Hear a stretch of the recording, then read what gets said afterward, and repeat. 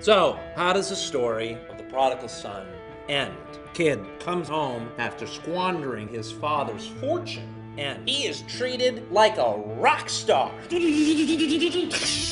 And the respectful son who did the right thing, you know what he got? Zip! Life is unfair. That about covers it. Look, Rich, I know your wife threw you out. You've changed, Richie. You are not the man that I married. Your kids want nothing to do with you. Give Daddy a big hug. You burn out on your job. You ever wish you were someone else? I run a restaurant for the meanest guy on the planet. You play the hand you were dealt. Big Earl here, reminding you of a program guaranteed to wash the old you away. I'm talking to you. I feel like I'm nothing. Please, God, help me to be anybody except who I am.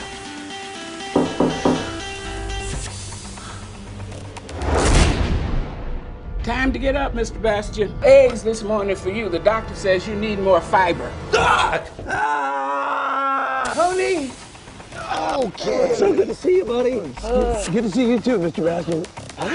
Something really weird is happening. Right, do you have your heart pill? I am not Frank. I'm Rich Chaplin, help me. oh, I'm starving. Hello, this is Tony. Tony, it's me again. Get over the way that I look and help me figure out what is happening to me. Obviously, your prayers were answered. God doesn't work this way. What? You mean miracles? It's me again. I gotta go back home and save my marriage. April, it's me. All right, boy, come on. Why'd you put me in this story if it wasn't gonna have a happy ending? You're the guy who's ready to throw it all away because you think life's unfair. What you feel is a choice. Choose to step up and lead this family away from the brink of disaster. I just want to be me again. There's nobody that I'd rather be than me, but not without you.